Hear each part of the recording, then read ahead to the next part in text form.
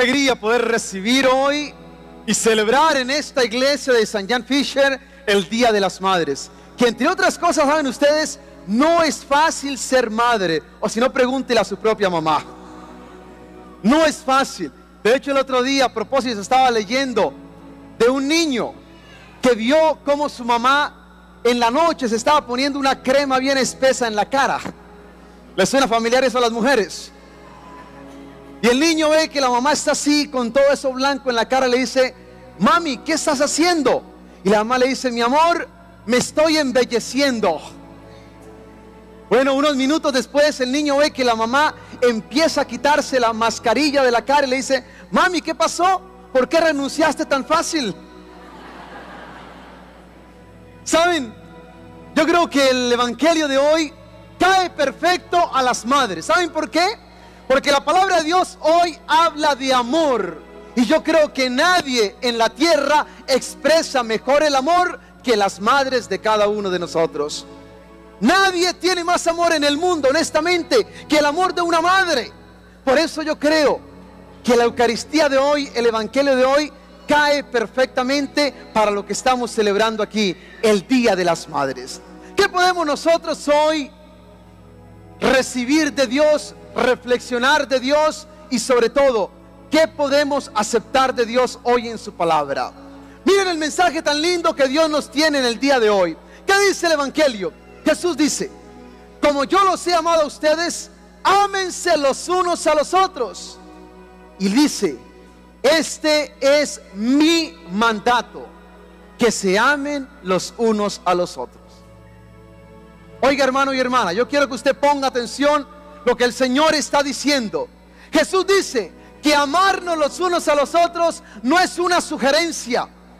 Amarnos los unos a los otros no es de pronto una buena propuesta de alguien que cree que el amor es importante. Jesús dice, amarnos los unos a los otros es un mandato, es decir, es una orden.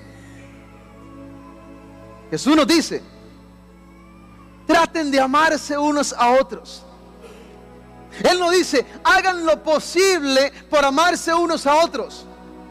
Él no dice, intenten amarse unos a otros. Él dice, ámense unos a otros. Es decir, no nos queda más opción que amarnos. Y miren ustedes la profundidad de esto. Ni siquiera Jesús dice, gústense los unos a los otros. A veces hay gente que me dice, Padre, es que a mí no me gusta fulanita. El otro día alguien me decía eso, Padre, a mí no me gusta fulanita. Y le dije, no te preocupes, que a mí tampoco. Oiga, hermano y hermana, a veces tú dices, a mí no me gusta fulanito, a mí no me gusta fulanita. Te voy a decir una cosa, si a ti no te gusta alguien, eso no es problema. A lo mejor tú puedes decir, yo no sé por qué, pero a mí no me gusta el Padre Mario. Te tengo buenas noticias. Si no te gusta el Padre Mario, tranquilo que eso no te lleva al infierno. El hecho de que a ti no te guste una persona no es ningún problema, porque la palabra de Dios nunca dijo que tenemos que gustarnos unos a otros. Pero la palabra de Dios sí es profunda y dice, ámense unos a otros. O sea que aunque a ti no te guste alguien, tienes que amar a esa persona. Óyelo bien. Puede ser que no te guste, pero lo tienes que amar. ¿Y por qué lo tienes que amar? Te voy a dar dos razones por qué tenemos que amarnos unos a otros. La primera razón es porque cuando yo amo a una persona, estoy expresando la naturaleza de Dios a través de mí. ¿Qué dice la palabra de Dios? En 1 Juan capítulo 4 versículo 8 dice que Dios es amor. Óigalo bien, si Dios es amor y yo acepto a Jesucristo en mi corazón, ¿qué pasa? Que cuando yo acepto a Jesucristo en mi corazón, el Espíritu de Dios viene en mí. De tal forma que yo pueda amar con los mismos sentimientos de Cristo Jesús. Más aún, la palabra de Dios es tan profunda y dice que todo el que ama ha nacido de Dios. Todo el que ama conoce a Dios. Oye hermano y hermana, ¿por qué tú tienes que amar incluso a aquel que no te gusta? Porque tú has nacido de Dios, tú conoces a Dios. Si ustedes quieren, tenemos el ADN de Dios. Somos hijos de Dios. Y porque somos hijos de Dios, tenemos que amarnos porque todos somos los hijos de un mismo Padre Celestial. Todos somos hijos de Dios. Levante la mano el que conoce a Dios. Levante la mano a ver. Cámaras, por favor, enfoquen todas estas manos, por favor. Porque esta va a ser la prueba contra ustedes. Oigan, todos ustedes que levantaron la mano están diciendo, yo conozco a Dios. Pero a lo mejor en tu corazón está diciendo, pero odio a mi suegra. Bueno, yo no te voy a culpar por eso, tranquilo.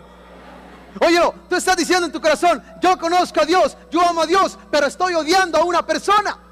¿Saben qué dice la palabra de Dios, hermano y hermana? Que si tú dices que conoces a Dios, pero al mismo tiempo estás odiando a una persona, eres un mentiroso. Y oiga, hermano y hermana, aquí no pueden haber mentirosos. Por lo tanto, si yo realmente lo conozco a Él y he nacido de Dios, tengo que amar a las personas, aunque a mí no me caigan bien. ¿Saben por qué? Porque amar es una decisión de mi voluntad. Amar no simplemente es un sentimiento. Amar es una decisión que yo hago desde mi voluntad para dar lo mejor de mí a una persona, para ser bueno con una persona, para darle a esa persona el lugar que se merece. Pero miren, ¿qué es lo que pasa? Que a veces nosotros confundimos lo que es el amor y creemos que el amor es un sentimiento. Oiga hermano y hermana, imagínese usted señor que está casado con su mujer y que de pronto mañana su mujer se levante y le diga, cariño, hoy siento que no te amo. Cariño, dame un par de días mientras me pasa esto que tengo, pero es que ya no siento amor. Oiga, hermano y hermana, ¿cuántas veces eso pasa? Y de pronto hay personas que dicen, es que ya no quiero nada con esta persona porque ya no siento amor. Antes yo sentía cosas ricas, ahora ya no siento nada. Oiga, hermano y hermana, déjeme decirle una cosa, el amor no es lo que usted sienta. El amor es una decisión. Y puede ser que de pronto usted no sienta, pero tú tienes una voluntad firme y una decisión que está por encima de tus emociones. ¿Qué es lo que pasa en nuestras vidas? Que muchas veces nuestras emociones están por encima de nuestra voluntad. Y no debe ser así. Tu voluntad tiene que estar por encima de tus emociones. Les voy a poner un caso bien claro. Hay días en que yo tengo que celebrar la misa, pero yo me levanto en la mañana y digo, hoy no siento como que quisiera celebrar la misa. Oigan, hoy no siento como que yo quisiera celebrar la misa. O a veces me toca escuchar confesiones. Y de pronto yo veo la fila y hay como 50 personas a veces sobre todo esto me pasa cuando voy a los eventos carismáticos, que hay 8 mil, 10 mil personas y me dicen, Padre Mario, hay mucha gente que se quiere confesar. Y yo miro la línea y veo 300, 400 personas. Y yo no sé por qué, pero dentro de mí hay una vocecita que me dice, yo no quiero confesar. Pero oiga hermano y hermana, no es lo que yo quiero. No es lo que yo quiero, porque hay momentos en que yo no quiero confesar a la gente, pero ¿saben qué? Es una decisión que yo hago, lo voy a hacer. ¿Por qué? Porque mi voluntad determina mis emociones y no mis emociones, mi voluntad. Yo quiero que usted entienda esto bien claro, porque hay días en que de pronto tú no sientes ganas de amar a una persona, pero tu voluntad tiene que ser más fuerte de amar a esa persona. Sobre todo cuando una persona te ha hecho daño. Sobre todo cuando una persona te ha herido. Sobre todo cuando una persona te ha lastimado. Sobre todo cuando una persona de pronto se ha burlado de ti. Sobre todo cuando una persona de pronto ha tratado de destruir tu vida.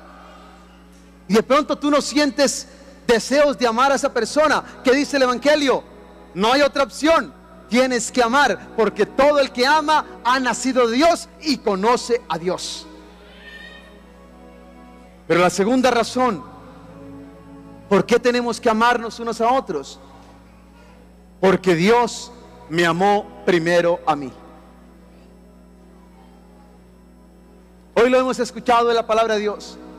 Porque Dios me amó primero a mí. En esto consiste el amor, no en que yo lo ame a Él, sino en que Él me amó primero a mí. Y porque yo sé que Él me amó, por eso tengo que amar a todas las personas. El amor de Dios, si ustedes quieren, que está dentro de mí, me empuja a amar a todos los demás. Él me amó primero. Miren, hay una cosa muy linda que yo quiero compartirle con ustedes. Yo no sé cuánta gente, sobre todo yo no sé cuántos de ustedes que están aquí, realmente se sienten amados por Dios. Yo no sé cuántos. Porque a veces también yo he notado en la vida que hay gente que no puede amar, ¿saben por qué? Porque nunca han sentido el amor de Dios en sus vidas. Y cuando tú no sientes el amor de Dios en tu vida, es casi imposible amar. Pero yo quiero decirles a todos ustedes, hermanos y hermanas, que tú tienes que empezar, si realmente quieres amar, tienes que empezar por sentir el amor de Dios en tu vida. Y que no importa qué hayas hecho tú en tu vida en el pasado, no importa cuán lejos hayas caminado de Dios, el amor de Dios por ti es un amor fiel e incondicional. Oye bien, el amor de Dios hacia ti no depende de lo que tú hayas hecho por Él, el amor de Dios para ti depende de lo que ya Él hizo por ti. ¿Y qué hizo Dios por ti? Murió en la cruz por nuestra salvación. Esa es la grandeza del amor de Dios. No es lo que tú hagas por Él, es lo que ya Él hizo por mí. Y yo tengo que sentir el amor de Dios. Una vez yo escuché un gran predicador que saben cómo se llamaba él. Él se llamaba el discípulo que ama a Jesús. Oigan, el discípulo que ama a Jesús. Y de pronto suena un poco arrogante que tú te llames el discípulo que ama a Jesús. Pero le voy a decir una cosa, hermano y hermana. Esto tiene mucho sentido. ¿Saben por qué? Porque la persona que Jesús más amó en la tierra, su mejor amigo, el que más amó, el más cercano a él, que se llamaba Juan. ¿Saben cómo se llama Juan en el Evangelio? ¿O cómo se refiere el Evangelio a Juan? El discípulo a quien Jesús amó. Óigalo, cuando la palabra de Dios habla de ese buen amigo de Jesús llamado Juan, dice el discípulo a quien Jesús amó. Por lo tanto, hermano y hermana, yo tengo que sentir que yo soy ese discípulo a quien tanto Jesús amó. Más aún, yo soy el discípulo al que Jesús ama. Y cuando tú te sientes amado por Dios, déjame decirte, tu vida cambia. Los sociólogos tienen una teoría muy linda, que a mí me encanta. La sociología moderna tiene una teoría muy interesante. ¿Saben qué dice esta teoría? Que el ser humano llega a ser lo que la persona más importante en tu vida cree y piensa acerca de ti. Óigalo bien, se lo voy a repetir. Tú llegas a ser lo que la persona más importante en tu vida piensa acerca de ti. En otras palabras, si usted le pregunta a mi mamá, señora Bárbara, ¿qué cree usted de su hijo o qué piensa usted de su hijo? ¿Saben qué le va a decir mi mamá? Es el hijo más lindo de este mundo y tiene razón. Óigalo. Eso es lo que ella piensa de mí. Es lo que ella cree acerca de mí. Y saben una cosa, yo lo he estado escuchando todos estos años y me comí el cuento. Yo lo he escuchado y yo lo he creído. Óigalo hermano, yo lo he creído y de una u otra manera he llegado a ser lo que la persona más importante piensa acerca de mí. En otras palabras, Si tu papá, mamá, piensas acerca de tu hijo, que es una persona buena, dulce, tierna, inteligente, ese hijo llega a ser lo que tú piensas acerca de él o de ella. Es muy importante por eso que nosotros aprendamos con nuestros hijos sobre todo, a hacerles ver, creer a ellos que son personas importantes en nuestra vida, que son inteligentes, que son lo que sea. Porque tus hijos llegan a ser lo que la persona más importante en sus vidas piensa acerca de ellos. Oiga hermano y hermana, piense usted, imagínese usted lo que Dios piensa y cree acerca de usted. Óigalo. Piense por un instante, ¿qué creerá Dios de mí? ¿Qué dirá Dios de mí? Pues yo esta mañana se lo pregunté a Dios. Yo esta mañana, cuando estaba en el baño y me estaba cepillando, me dio por preguntarle a Dios, Señor, ya yo sé lo que mi mamá piensa de mí, ahora tú qué piensas de mí. Y oigan, ustedes no van a creer, pero Dios me respondió.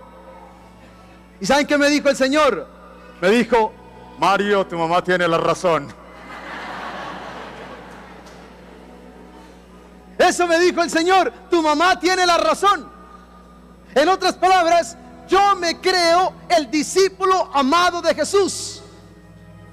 Y cuando yo me siento y creo que soy el discípulo amado de Jesús, entonces es más fácil para mí amarlos a ustedes. ¿Saben por qué? Porque ustedes también son hijos de Dios, que es mi Padre Celestial.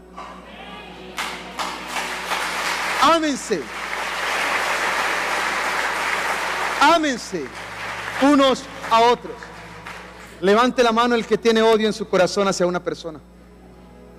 Oiga, no hay nadie, gracias a Dios. ¿O será que hay muchos sordos?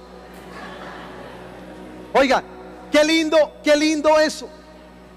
¿Por qué amamos? Porque conocemos a Dios. Porque Dios nos amó primero. Y si ustedes quieren, porque Dios me ve a mí con amor y con ese mismo amor, yo los tengo que ver a cada uno de ustedes. Hoy les invito a ustedes, pongámonos todos, revistámonos todos del amor de Dios. Y recordemos una cosa bien linda. Cuando tú amas, tú no haces daño. Cuando tú amas, tú no hablas mal de nadie. Cuando tú amas, tú no propagas ningún chisme. Cuando tú amas, tú no buscas destruirle la vida, la reputación a una persona. Cuando tú amas, solo hablas bien de la gente, solo sirves, solo das tu amor, solo das un abrazo, solo das una palabra de bienestar para esa persona. Todos estamos llamados a amarnos y a demostrar el amor realmente con nuestra vida, porque todos hemos conocido a Dios. ¿Saben qué es lo que más a mí a veces me alegra? Que para dar amor no hay que hacer muchas cosas grandes. Miren, le voy a contar algo. Aquí en nuestra comunidad hay mucha gente que son muy adultos en su edad, mucha gente anciana. Y yo lo he notado mucho, sobre todo a veces con la comunidad americana. ¿Saben qué me encanta a mí? Que cuando yo estoy celebrando la misa y luego de terminar la misa, Vienen las señoras, vienen los señores a que el Padre les dé un abrazo. Y esta mañana yo estaba en el salón en el desayuno que se hizo en favor de todas las madres. Y yo voy por las mesas y hay señoras que me llaman. Y una señora me dice, Padre Mario, venga que no me ha dado mi abrazo hoy. Y yo voy y le doy ese abrazo y se lo doy en el amor de Dios. Y saben, cuando yo doy ese abrazo a esta persona, o le doy la mano a una persona, o le doy una sonrisa a una persona, ¿saben qué estamos haciendo? Estamos compartiendo el amor de Dios. Yo les invito a ustedes, amémonos unos a otros, pero que el amor no sea simplemente cosa de palabras, sino que realmente lo demostremos. Y lo demostramos sobre todo, aunque nos cueste muchas veces, porque tú no amas a quien a ti te gusta, tú amas a aquel que Dios pone a tu lado, aunque a ti no te guste. Y a veces el amor requiere sacrificio, pero lo hacemos porque el amor de Dios también se sacrificó por cada uno de nosotros. Voy a terminar contándoles una historia muy hermosa acerca de las madres y que es una historia que refleja el amor de las madres, que es un amor que sabe sacrificarse por nosotros los hijos. El otro día escuché de una mujer que su mamá vino a la casa a compartir un par de días con ella. A la mamá de esta amiga le encanta ir de compras, pero a su hija no le gusta realmente ir a las tiendas, cosa rara en las mujeres. Pero a su madre le fascina ir a las tiendas. Pues la mamá quería un vestido.